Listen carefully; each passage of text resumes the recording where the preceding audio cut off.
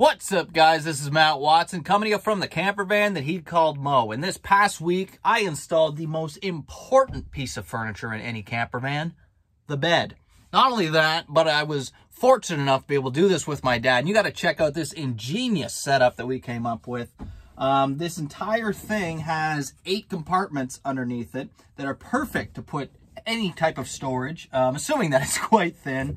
Um, and not only that, but each of these compartments are completely breathable. We did this with eight 2x4s and a few 3-inch screws, and the entire thing probably cost us no more than a 100 bucks. All you got to do now is sit back, relax, and let me show you how we did it. Want comedy? What? You got some comedy? Huh? You wanted comedy? It's Matt.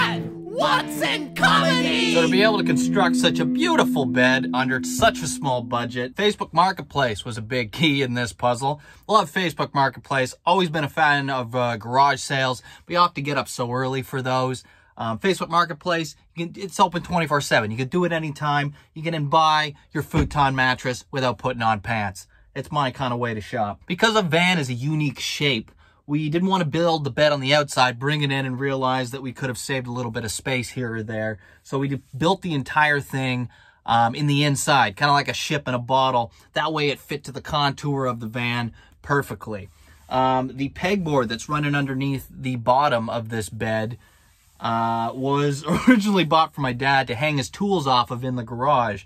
But uh, after trying it, he realized that every time he removed a tool, um, the hook that was holding the tool up would also fall, rendering the entire thing completely frustrating. So I said, hey, Dad, can I use that uh, board for uh, underneath the bed? And he said, sure, go for it. I'm like, perfect. So at first I was just using this pegboard because it was free. But then people started pointing out that it was ingenious to use it underneath because that lets the entire bed breathe. So from here on out, uh, that will be the reason that I give as to why I used that particular material. I realized as we were putting this in that my jack for the van is nicely positioned right here. Uh, but with the way I put it in the floorboards, um, it wouldn't come out. So during this process, we had to take two steps back to when I put the floor in, unscrew this entire panel, and then make it now so um, when uh, when you unscrew this bad boy, like this,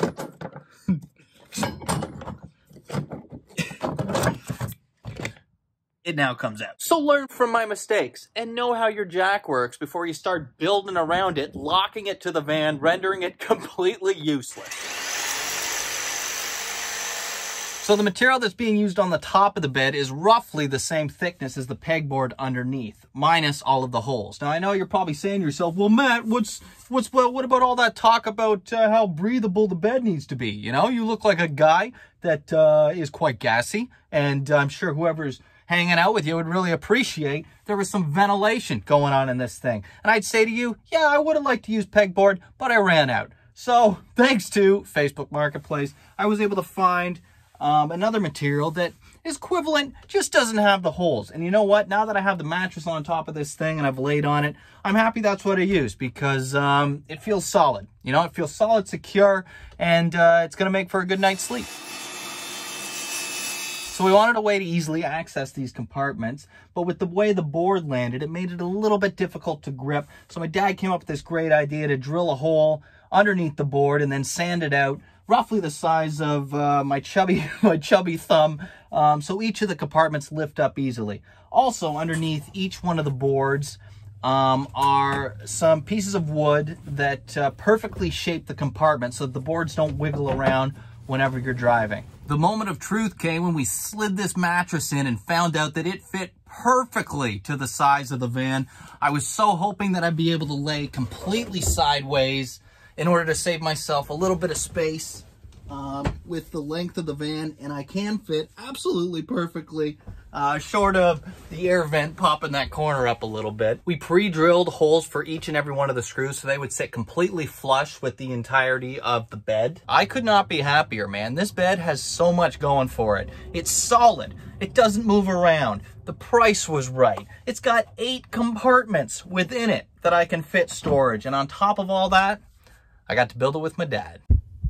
Come, Dave.